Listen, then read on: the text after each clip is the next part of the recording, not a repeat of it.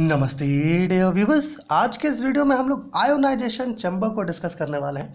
हम लोगों ने पिछले वीडियो में आयोनाइजेशन गॉज को देखा था, है ना? उसकी मदद से हम लोग लो प्रेशर मेज़रमेंट करते हैं। आयोनाइजेशन गॉज की मदद से, है ना? वहाँ पर जो है, कुछ गैस मोलिक्यूल्स जो है वैक्यूम ट्यूब में एंटर करते हैं और उसको जो है आयोनाइज करवाया जाता है और वहाँ पर करंट की मदद से ये पता लगाया जाता है कि कितना यहाँ पर प्रेशर है है ना? तो उसी प्रकार का कुछ सिनेरियो यहाँ पर भी है ना? ये क्या है? चैम्बर है। चैम्बर बोले तो है ना? एक ऐसा चैम्बर जहाँ पर पहले से कुछ गैसेस मौजूद होती हैं, है ना? है ना? आयोनाइजेशन चैम्बर के पास, मेरे प्यारे व्यूवर्स इसके पास एक गैस फ़ील्ड इनक्लोजर होता है। ओके क्या होता है? इसके पास एक गैस फ़ील्ड इनक्लोजर होता है है ना? और उसी इनक्लोजर में जो गैसेस होती हैं, उनको जो है किसी रेडिएशन के थ्रू आयोनाइज करवाया जाता है और वहाँ करंट फ्लो होता है आयोनाइजिंग करंट उसी की मदद से जो है, ये पता लगा, पता लगाया जाता है कि इंटेंसिटी जो है रेडिएशन का वो कितना है। ओके या फिर पार्टिकल्स का, है ना काउंटिंग भी किया जाता है, क्योंकि यहाँ पर एम्पलीफायर है ना काउंटिंग मशीन ये सब लगा हुआ होता है, ठीक है? तो बेसिकली हम लोग थोड़ा यहाँ समझेंगे, है ना, हम लोगों ने एक पैराग्राफ लिखा है आयोनाइजेशन चैम्बर के बारे में। कि the ionization chamber is use to detect particles in air और टू डिटेक्ट और मेजर आयोनाइजिंग रेडिएशन है ना?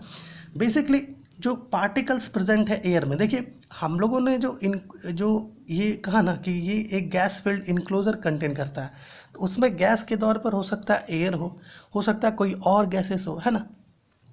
The ionization chamber is used to detect particles in air or to detect or measure ionizing radiation. Okay, ionizing radiation को measure या detect करने में इसका प्रयोग किया जाता है आयोनाइजेशन चैम्बर का ओके, इसमें जो है पार्टिकल दर पार्टिकल जो है, ये डिरेक्शन या मेज़रमेंट किया जाता है ना? हर एक पार्टिकल दर पार्टिकल इसलिए इस आयोनाइजेशन चैम्बर में, है ना मेज़रमेंट में या फिर डिटेक्शन में काफ़ी देर लगता है, क्योंकि ये पार्टिकल एक पार्टिकल डिटेक्ट किया, उसके बाद जो है फिर ये कुछ सेकंड रुकता है, कुछ मिली सेकेंड रुकता है, फिर ये दूसरा पार्टिकल डिटेक्ट करता है, ओके? तो इसमें थोड़ा समय लगता है। It consist of a gas field enclosure है ना? जैसा कि हम लोगों ने कहा आपको। In two conducting metal plates of electrodes of same shape है ना, या some shape separated by a gap okay basically क्या क्या है आयोनाइजेशन चंबर में? कि ये जो है एक गैस फ़ील्ड इनक्लोजर कंटेन करता है, और उस गैस फ़ील्ड इनक्लोजर में दो कंडक्टिंग मेटल प्लेट्स लगी हुई होती है ना, जिसको हम, जो, जिसको हम लोग इलेक्ट्रोड्स कह सकते हैं, ठीक है?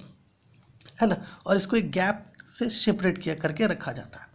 देखिए बेसिकली क्या होता है? ये जो इलेक्ट्रोड्स की बात हो रही है यहाँ पर इसमें ये इलेक्ट्रोड्स जो है या तो आपका पैरल प्लेट्स के फॉर्म में होंगी या फिर कोएक्सियल सिलेंडर्स के फॉर्म में होंगी।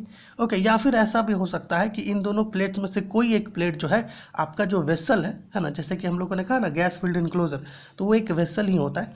है ना तो हो सकता है वो जो है वेसल का वॉल ही हो ऐसा भी चांसेस होता है ठीक है।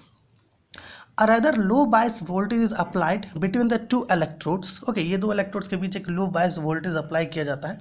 ओके okay, है ना? और ये इलेक्ट्रोड्स जो है which may be in the form of parallel है ना? पैरेलल प्लेट जैसा कि हम लोगों ने कहा, और कोएक्सियल सिलेंडर्स ठीक है?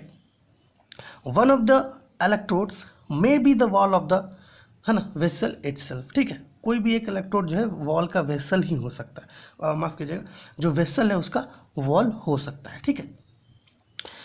When gas between the electrodes is ionize by any means है ना? मतलब किसी प्रकार का रेडिएशन उस पर फॉल करवाया गया या फिर इलेक्ट्रॉन पास करवा दिया गया वहाँ से तो क्या होगा? जो गैसेस है वो आयोनाइज हो जाएगी, है ना?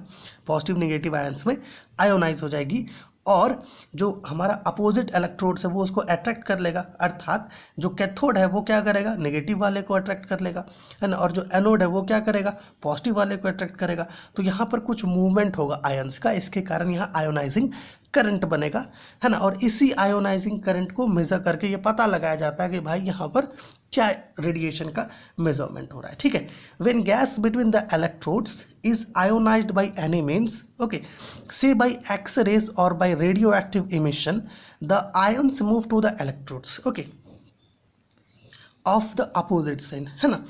क्या कहा? गैस को जो है, क्या करवाया जाता है? आयोनाइज करवाया जाता है। ओके, और जो आयन्स होते हैं, वो अपोजिट साइंस के इलेक्ट्रोड्स के पास मूव कर जाते हैं। Thus creating an ionization current of है ना micro ampere range which may be measured by a galvanometer और an electrometer okay this current is a measure of intensity of radiation है ना। एक छोटा सा शॉर्ट नोट आयोनाइजेशन चैम्बर के regarding